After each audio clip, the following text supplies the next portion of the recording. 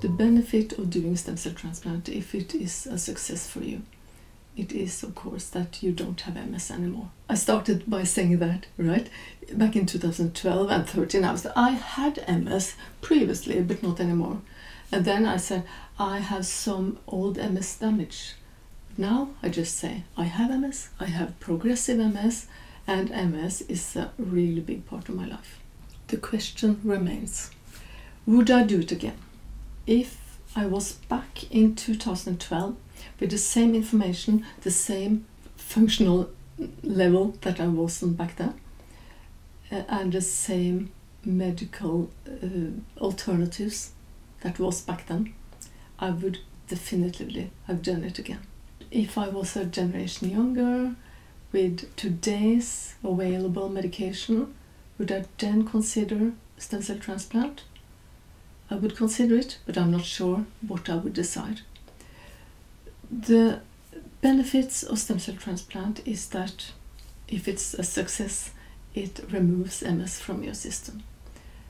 Uh, a lot of neurologists are talking about uh, absence of disease activity as a parameter for being healthy. But if you have MS and you have a lot of years without disease activity, that doesn't mean that you are without MS.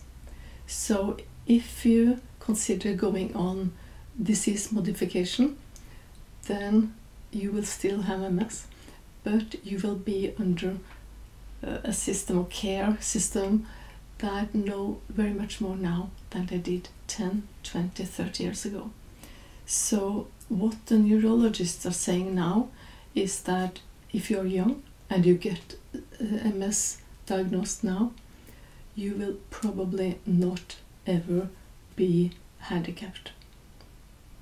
Probably, maybe, you know, because I know people who are young and newly diagnosed who struggle massively with side effect of DMDs. So how will I conclude these reflections? okay, I will not do stem cell transplant a second time because I believe that my HSCT did what it should by repairing my immune system, uh, not giving me any new flare ups. Would I do it again, uh, going back to 2012, knowing what I know now? Yes, absolutely.